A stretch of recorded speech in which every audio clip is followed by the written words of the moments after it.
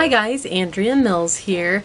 Um, we are into our second week of homeschooling for the 2017-2018 school year and a lot of you guys have asked me um, about my homeschool planner so I thought I would just show you guys what I made to use this year. I've tried a lot of different types of planners and um, last year I was using this three ring binder and uh, I thought it was pretty but I just I don't like the bulkiness of a big binder and I've tried using those little half like half size binders and I just don't like that either. I find myself, if this makes any sense, but I find myself rebelling against using my planner if it's bulky and I feel like it's a hassle to open it up and this is another weird thing I don't know maybe this is just me but if it's got nice paper I I feel less free to just like use it because I don't know why. I just like junkier stuff.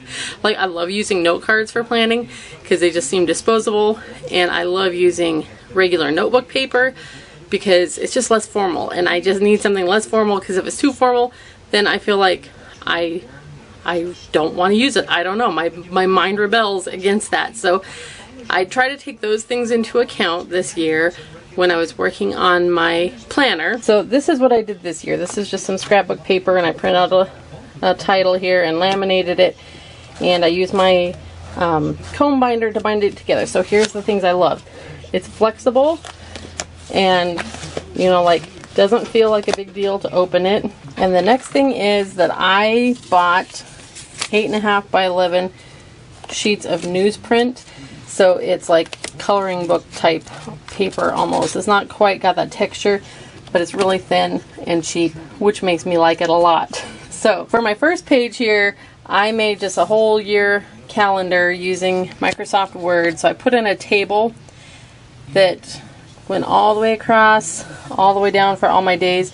And then I took out the lines on these rows to make the divisions between. So like if you ever ever made a table, you know, you can make it so you don't see lines. So that's all I did here to make the individual little calendar boxes. In the past, I've tried to make a different calendar for every month, so it'd be like a full page calendar that I flip through, but I found myself never using that. It just was too too much. So I decided this year just to go with the, all the whole year at a glance. And then all the days are color coded. I have my little chart down here.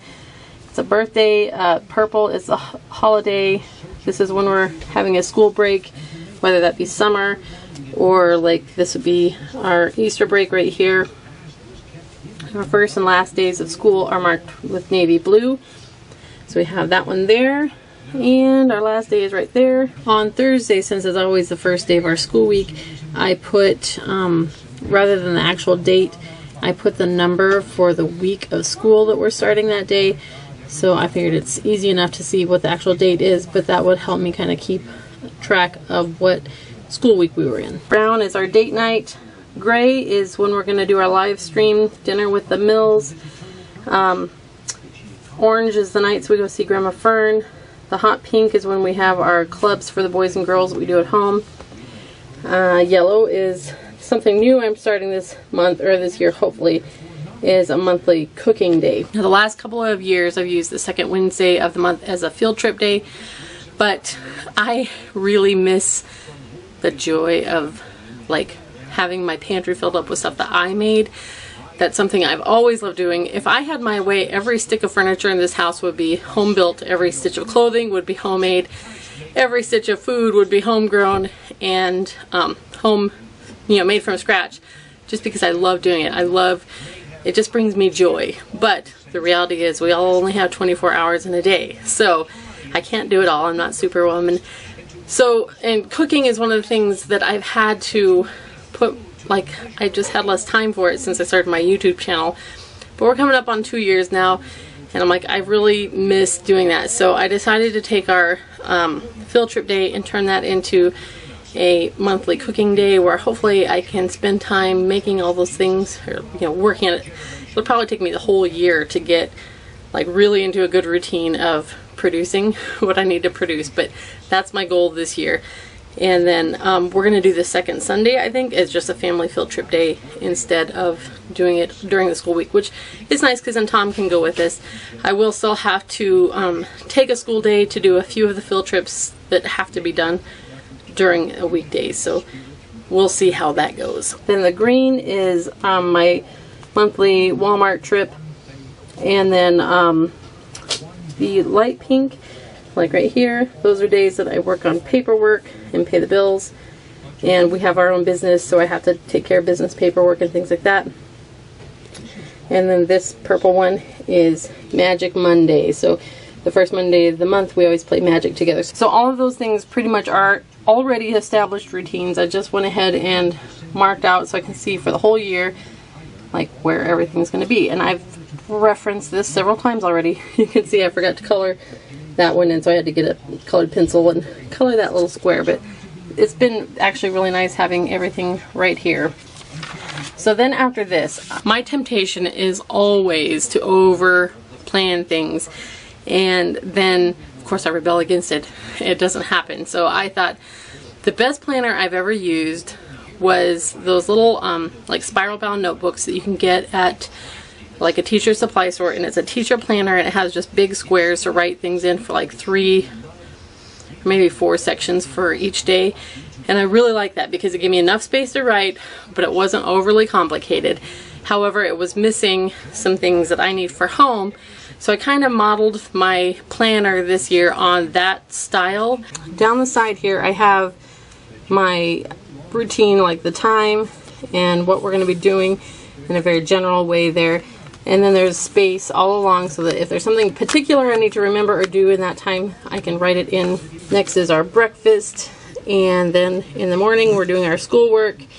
And then we'll have our lunch break. Then in the afternoon, doing activities and projects. Then we have supper. Then whatever we're going to do as a family in the evening. Bedtime routine. And what I'm going to do in the evening. So I have my good size squares for the the parts of the day where I would need to plan the most. And then these are enough space to write in the menu or whatever for that meal.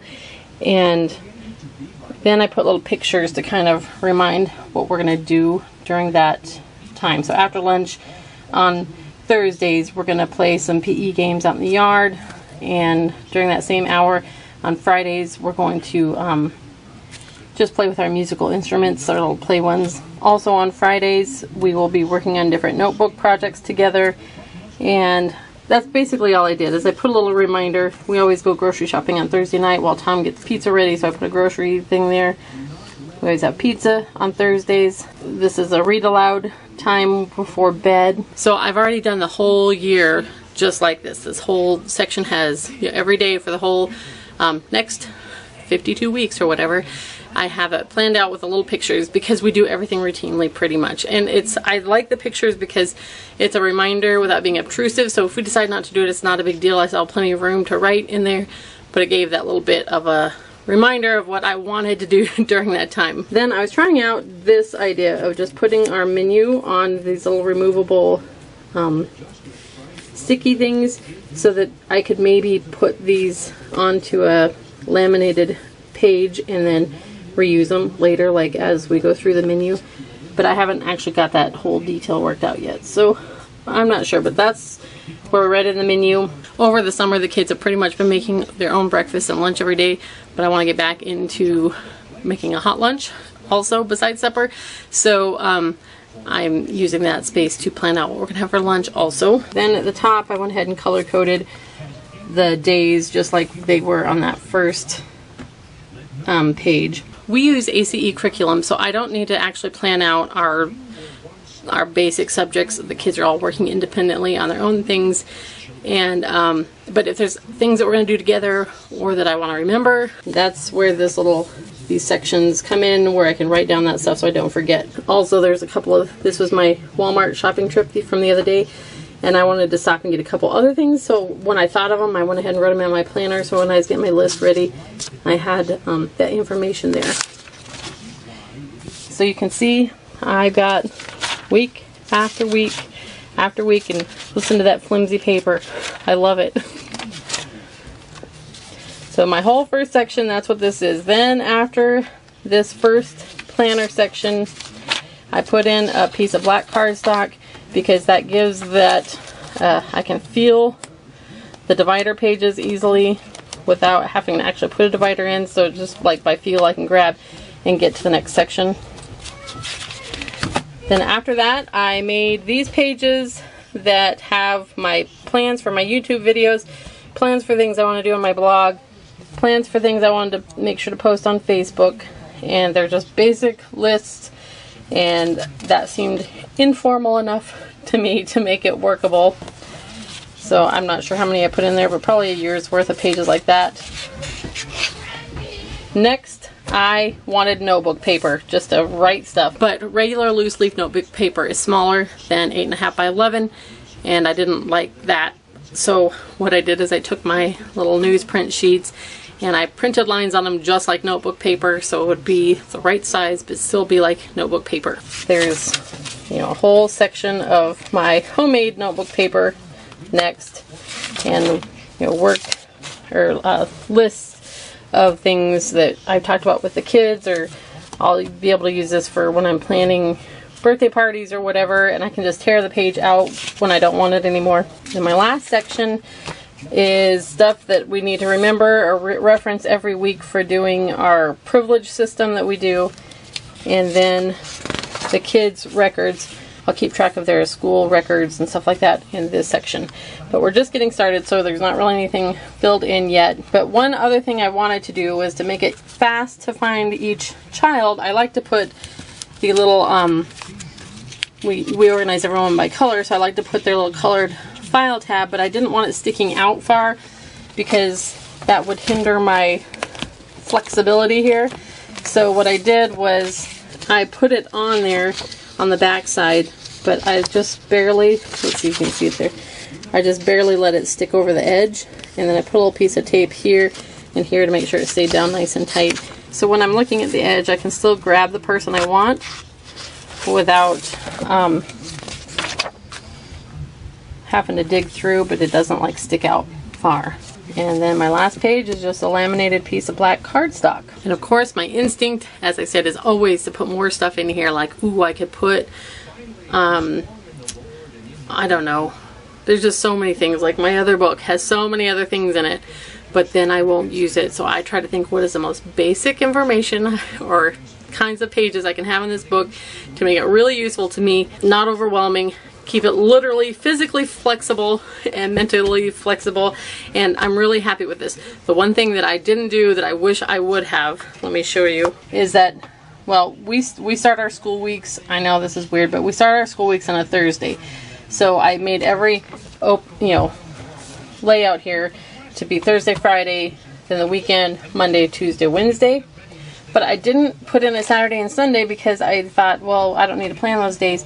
But for meal planning, it's kind of annoying not having a Saturday and Sunday. So if I do the next, if I do this next year, I will probably make this column where I put the routine a little thinner, like make it a little narrower so that I could put maybe a narrow strip down the side that would have like Saturday and Sunday and I could still write in some things there for meal planning and if there's like some event coming up I could just put a very basic um, thing in there. Now for the kids, um, I made each one of them, the, this is like 5 by 8 note card, uh, plain note cards, and I made each one of them one of these little booklets um, to keep in their school binders. So they go for the whole year.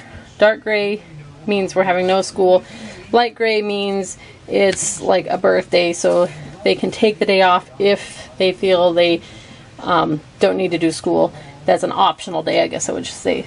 So each one of them has uh, down the side what school subject it is, and they're slightly different from child to child. We have um, six kids that are homeschool age this year, from 10th grade down to first grade, and so each one of them has a slightly different um, list, but it's the base, same basic layout for everybody. So then here I wrote, um, I made a spot so I can write in what I want them to try to do, like this means 20 minutes on that, or um, we might do, you know, four pages or whatever, so that they see what my target is for them, and then depending on how they do it, they're either working their 20 minutes and then writing down what they accomplished here, or if it's pages, then they will write down the actual pages that they're assigned for that day. So we've got the whole year. Um, I guess we can go over this. They have, this is Judah's. He's got English, literature, Greek, math, social studies, science, word building, um, working on scripture memory, anything they need to do for privilege, like working on service projects or things like that. And then just one extra section for anything else that we might need to work on that doesn't have its own spot. So then um, it goes through for the whole school year. And these indicate the beginning of whatever that school week is. So this would be the seventh week of the winter term starts here on that day. So those are my two types of planners that we're using this year. Both of them are very simple and I'm really happy with um, how it's working out. I find myself reaching for my planner frequently to look up things or write things down and I can tell you that's not how I normally am with a planner so I know I'm on to something so next year if I can just get that Saturday Sunday thing in there I think I think this might be what I stick with from now on thank you guys so much for coming over and spend a few minutes with me today and um, keep watching. I've got so many videos that need edited, but I've been taking naps in the afternoon instead of working, and we're still working on getting all that garden produce canned and dealt with. Like I'm making pizza sauce today and it smells so good in this house. So I um hopefully hopefully well you never know. Hopefully gonna get those videos edited soon and up for you guys to see and yeah anyways I am alive and well and I'll talk to you guys again very soon.